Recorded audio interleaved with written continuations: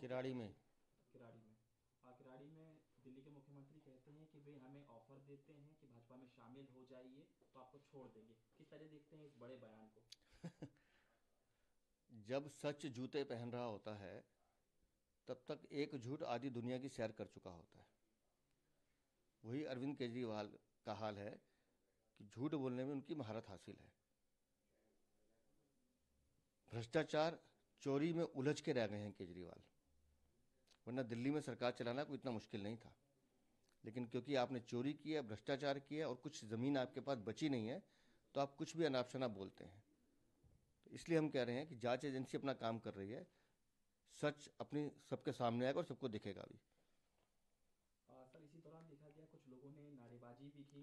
आ, उस पर अरविंद केजरीवाल ने कहा जब हम स्कूलों मोहल्ला क्लिनिकों और अस्पतालों का उद्घाटन करने जाते हैं तो दूसरी पार्टियों के लोग वहाँ पहुँच जाते हैं हंगामा। करते हैं। कम से कम इस को तो छोड़ दिया जाए। देखिए, किराड़ी की जनता उनका विरोध कर रही है।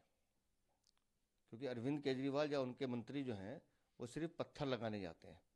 मैं आपके सामने पूछता हूँ अरविंद केजरीवाल से। अभी कुछ समय पहले कैलाश गहलोत वहाँ गए थे बस अड्डे का उद्घाटन करने, उसी किराड़ी विधानसभा में जहाँ अरविंद केजरीवाल ने एक ईट लगी हो तो दिखाते मनीष सिसोदिया, जो पिछले एक साल से जेल में बंद हैं, वहाँ एक अस्पताल का शिलान्यास करके आए हैं। एक पत्थर लगाओ तो दिखा दें। वही हाल अरविंद केजरीवाल का है कि सिर्फ़ नाम पट्टिका लगाकर आ जाएँगे करेंगे कुछ नहीं। उसी बात का स्थानीय जनता ने विरोध किया है। आ, सर नोटिस को लेकर एक आम आदमी पार्टी के नेता ने सवाल उठाया है कि अरविंद केजरीवाल के यहाँ एक अधिकारी पहुँचते हैं उनके हाथ में सम्मन होता है लेकिन वो कोई सम्मन नहीं है ना ही उसमें आईपीसी लिखी है ना ही कोई सीआरपीसी का उल्लेख है। आप महज केवल डराने की कोशिश देखिए वो कानून अधिकारी बता पाएँगे कि उस संबंध में क्या था। हमने तो देखा नहीं।